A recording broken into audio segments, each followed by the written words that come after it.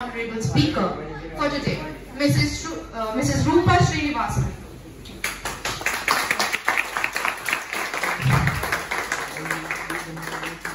She graduated from Delhi University in 1973. Afterwards, pursued her master's in English in 1978 from Punjab University, and then went for her B.Ed and M.Ed from Annamalai University.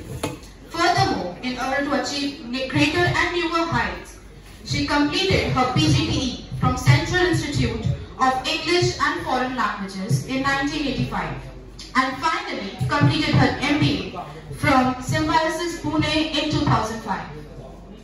Apart from her educational career, she worked as a PGT English for 28 years and afterwards served as a vice principal and the head of a school for another eight and a half years.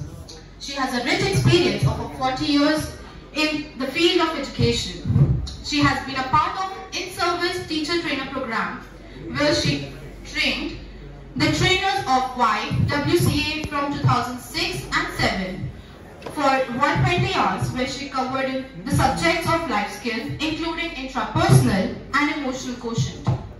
For 20 years, she was a dedicated faculty of communicative English, uh, communicative skills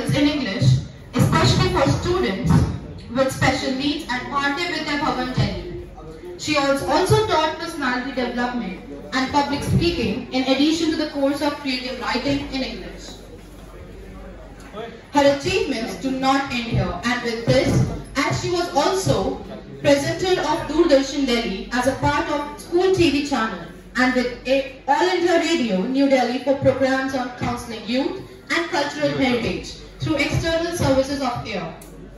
She has also worked as a columnist for National Daily in Hindi Dainik Jagran on issues of personality and in Dash for career counseling.